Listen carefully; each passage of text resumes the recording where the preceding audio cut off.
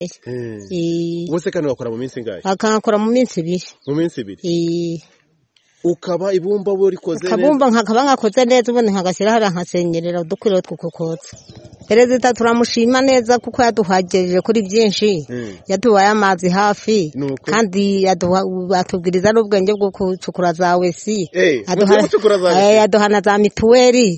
Ubu turivuza nta kibazo. Mm. yewe no ku kabando bamwe barahageze Mm. nta kiza atadukoreye. Tuganirira hamwe nyine tukavuga rumwe. Ubundi twese twajya mu nama tugatera esuperi nirambe osiperi kagame ngwiki? Twese tuba turi kumwe osiperi wowe dutere imbere dutere imbere turi mu majyambere twese baro shima kagame wacu mbabaza abahetsi gahorana u rwanda. Esuperi nirambe mu rwanda. Esuperi nta kitaduhaye yatugejeje kuri byinshi. Yaduhaye amazi ku muhanda amavuriro turi hafi we.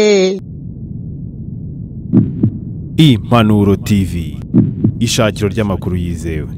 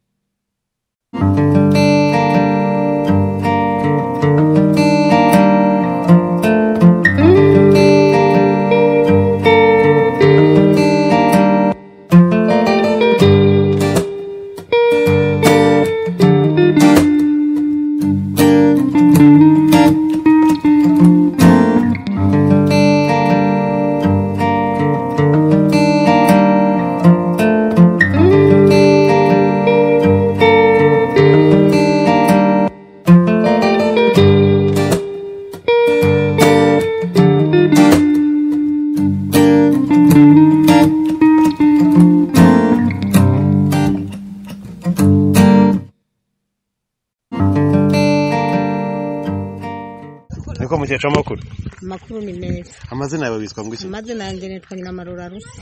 Nyiramarora? Rusi. Ubuse ugwije imyaka ingahe? Mfite imyaka mirongo irindwi. Mirongo irindwi Mm. umaze uvutse se? Maze mvutse. Cyangwa niyo umaze ukora kano nshaje ndashaje ndi umukecuru. Ntabwo uri umukecuru.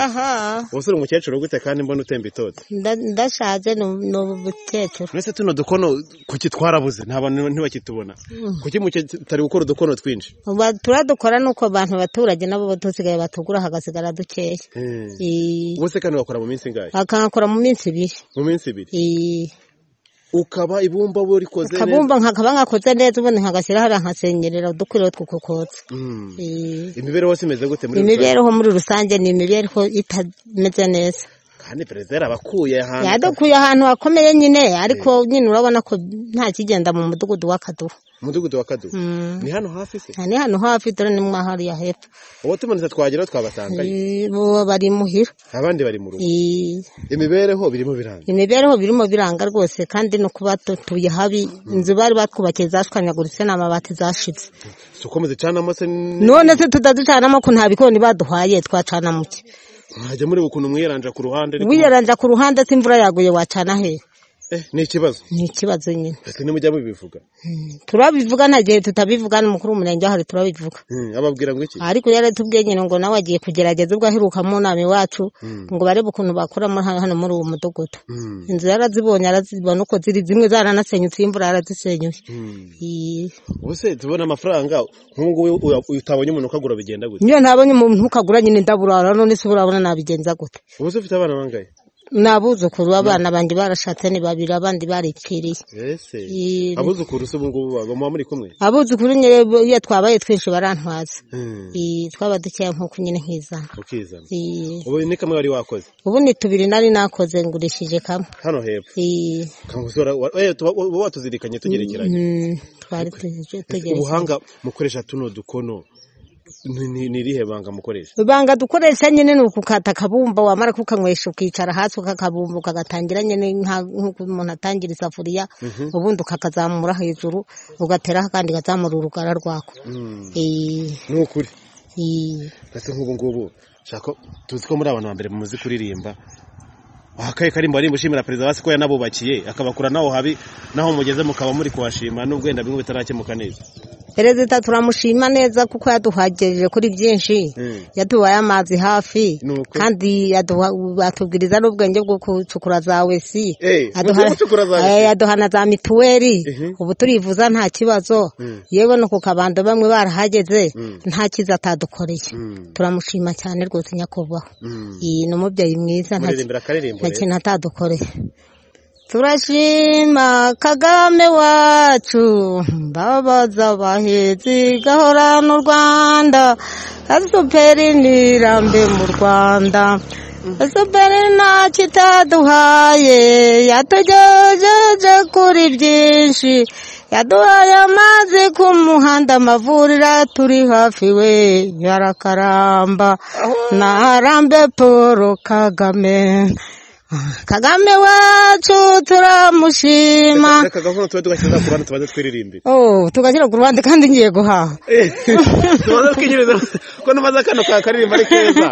Tukaririmbe neza ko ngiye guhaha wenda guma aha ngaha. Mm, reka tuganire nyine bya kinyarwanda. Turaganira nyine nk'abanyarwanda ariko njye ni uguhaha none se urabona byagenda gute? Ubu se amafaranga bari bukwishyura urayakoresha iki amafaranga banyishyura nyine ndashaka mu cyo njya kurarira. Ubu se mujya mwizigama bitewe na kano kazi mukora ukagira nk'amafaranga wizigama?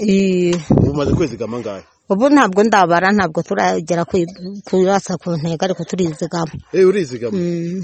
hari indi mafaranga mubona se usibye bene bikorwa mukora ni mafaranga mwinjiza? N'andi mafaranga twinjiza keretse twagahuka bando Mm. tugakuramo nyine ejo hazaza. Mm. Eh. ese abandi baturanye banga mubanye gute? Na mbere byajyaga bivuga ngo haje ibintu by'ivangura ubu nta vangura rikiriho turasangira rusange nk'uko twese turi abanyarwanda. Murajya mugasengera bara- bamwe baranywana nyine natwe tunywa za kamata ariko ntabwo batwishama twicara hasi tugasangira haba mu bukwe haba mu birori byose tuba turi kumwe. Turi abanyarwanda kimwe. Ntabwo bakibavangura ngo bariya ntabwo batuvangura. ese ubundi ubwo batuvanguraga ari uko ntacyo barageraho ngo bamenye ubwenge? Eh. ubundi ubu umunyarwanda ni umunyarwanda. Eh. twese ko twaremwe n'imana imwe Eh. urumva twavangurana gute? Twese ko twaremwe na- n'imana imwe twavutse kuri adamu. Ujya gusenga se? Ndasenga. Usengera mu badivantisiti hari iringano. Mu munsi wa karindwi. Ii. utuzaniye amahoro turirimbire rusange Neza. birasaba tugiye gutangira kandi Mm, wowe ndihuta ahubwo nyine win- wintinza mu kazi njya gushaka ngoje nkwerekeza tugire tuganira njya rero gushaka icyo nkora nyine Eh. cyaba kitaratangira Eh. itangire nyine narangira isaba tutangire bimeze neza mazi bimeze neza nyine uragiye gutangira si. Eh. ubundi huta nyine ngo njye gutangira isabato nyine Mm. ubundi itangire na- nageze imuhira Hatagiye- wageze imuhira Mm. ariko se tubwire yenda nk'ibanga Ibanga. ubundi mibereho yanyu mubona ubuzima bugenda. Ese mubona ari impinduka ku buzima bwanyu? Ese mubona hari ikintu kiri guhinduka ku buzima bwanyu? Imibereho yacu rero Mm. ikintu gihinduka ku buzima bwacu ni iki? Mhm, cyane cyane kuba ntaho turi. Mhm.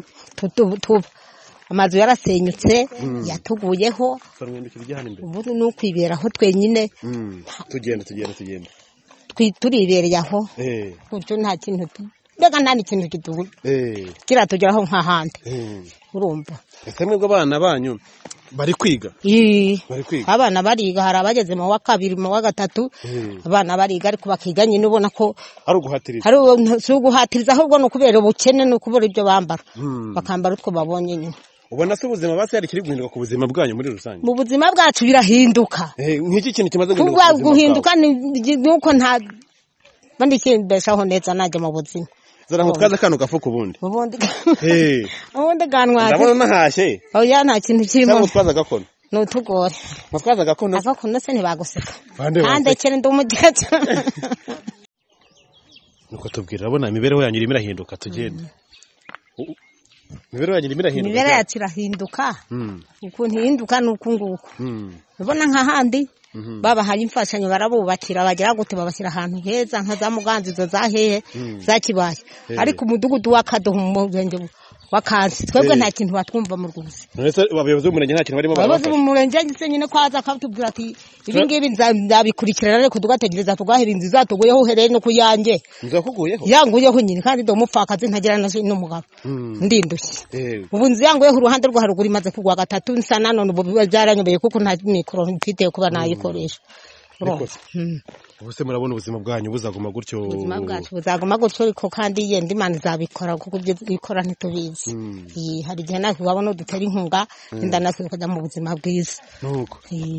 Ese tuvuge nk'ubu ngubu ni iki wishimira mu byo umaze kugeraho ikintu nishimira mu byo maze kugeraho cyiza ni uko nabonye mituweli. Mm, kandi dasante. iyi, mituweli do sante iyi, nkaba nibivuza ntarinze gucogora n'abana banjye bakaba bivuza. Iyi ra- ni uko ni cyo nshima rwose leta y'ubumwe yatumariye. Eh. kandi ikaba nyine n'ibyo bitigenda natwe bizatugeraho. Ntabwo turiheba kuko imana irahari. Kuko ibyo umugambi bafite ntabwo tuwuzi. Eh. Yenda natwe bazabitugezaho tukabaho nk'abandi. Harya wakora ukajyanye he? Hari umuntu ugashyiriye nawe nkakiriye ni uko ubunga gutya mu baturage. Tugende tujye mu rugo rumwe turebe niba bakugurira. Tugende nyine nimba mbona umuhamagara akangurira. Mm. simbi dore ubu ni ukwigendera gutya. Na- nabona uhamagara nyine ka bikaba birabaye bikaba birabaye twumvikana tu- tumvikana nkakomeza nkigendera. Ubwo ubu se tuvuge n'urugero nta muntu uba muziranye akavuga ati yenda uyu ni umukiriya wanjye yenda yarantumye. Nta muntu ujya nka gahunda. Na umuntu wayimpaye nyine sinirwa kugera nk'aha ngaha. Eh. tungura nkizamuka mbimuhira. Eh. rero kurinda kugera aha nyine ni ukwitembera gutyo umpamagaye tukumvikana. Yaba ataguhamagaye. Yaba atampamagaye nyine nkakomeza nkigende- nkigendera gutyo niko bimeze. None reka tukureke ujye gushaka turebe ko wese ukazenguruka ariko ngira ngo twumve yenda se. Urabona ibintu muri rusange byanyu. Hari icyerekezo bifite. Ese bizakomeza ubwo buzima bwo kuvuga ati muzahora mufashwa buri gihe. Ese hari igihe namwe muzagera mugafasha abantu? Hari igihe natwe tuzageraho. Mm. Tubigereho kuko ndabona birimo biza buke buke. Mm. hari igihe natwe bizatugeraho natwe tujye dufasha abantu cyangwa se natwe tuve muri ubwo buzima bubi. Urabona hakorwa iki rero kugira ngo ubuzima bwanyu buhinduke. Aho kuvuga ngo wenda inzu yansenyukiyeho nawe ejo ikaba yasenyuka yenda nawe ukayiyubakira. Nanjye nkayiyubakira nyine mfite ubushobozi. Nawe ubundi ubungubu rwose ndabona igihe nta kigenda kuba nayiyubakira. Nyine urumva hakorwa iki kugira ngo ibyo bintu byanyu bibone umurongo ngenderwaho? Ukuntu byabenerwa umurongo ngenderwaho yenda nko muri uyu mwaka badukoreye icyo gikorwa bakatwubakira yenda natwe ubutaha twaba tugeze ku majyambere yo kuba twabyikorera kuko bamwe turimo twororoza uduhene baduhaye nk'ubu duhene baduherera ku murenge. Yambereye nabi igenda yigurisha ariko ngo indi n'ishashi ubu nziza umuntu yabangurira. Ubwo urumva mu gihe biri imbere nyine nkomeje ikabyara nka kabiri nka gatatu nanjye na- naba nirwanaho. None neza. Ese tuvuge n'urugero urumva yenda ubushize barabubakiye. N'umuntu ashaka ko babubakira ubu rero niba uzakora muzashaka ko babubakira. Oya. Igihugu kizahora muri ibyo ntabwo tuzaguma muri ibyo natwe ntabwo twaguma kwagusabiriza. N'amahanga yarahakanye natwe twa- twakwikorera igikorwa. I- kurumva nk'ufite nk'agahene cyangwa afite tubiri cyangwa ufite nk'ako kagurube yewe yaguma kororoza nyine mu gihe cyazagera nawe akirwanaho. Akirwanaho. Rero ngira ngo wenda u- use nkaho tubwire kugira ngo wenda abantu bumve yenda hari ukundi abantu baba badukurikiranye yenda. Baherukaga kera babaga babazi ko muri abantu yenda bahejwe n'amateka nyine ngo tutari abantu nk'abandi mbere. Ariko uyu munsi dore dore. Uyu munsi rero turi kumwe twese pe turaganirira hamwe nyine tukavuga rumwe. Ubundi twese twajya mu nama tugatera superi. Ni irambe o superi kagame ni arambe twese tuba turi kumwe superi wowe dutere imbere dutere imbere turi mu majyambere. Twese baro aho kantu aho hari aka karimo akaririmbo numvisha waririmbye ka- akaririmbo naririmbye hari utundi turirimba se mujya muririmba mwagiye gutyo mwahuye? Twahuye nyine turaririmba tugatera utubyino twiza tukaririmba nyine dusingiza u rwanda rwacu n'igihugu cyacu. Nicyo tutugejejeho nyine. Nirimbamo kamwe rero. Hamwe nkaririmbemo turashimira leta yacu yatugejeje kuri byiza. Twabonye amazi ku muhanda twabonye za mituweli ubu turisanzuye nta muntu ugihezwa dutera imbere mu majyambere. Ngaho ndikange guha. Eh waho uronke rero? Yego. Eh. Impanuro tv ishakiro ry'amakuru yizewe.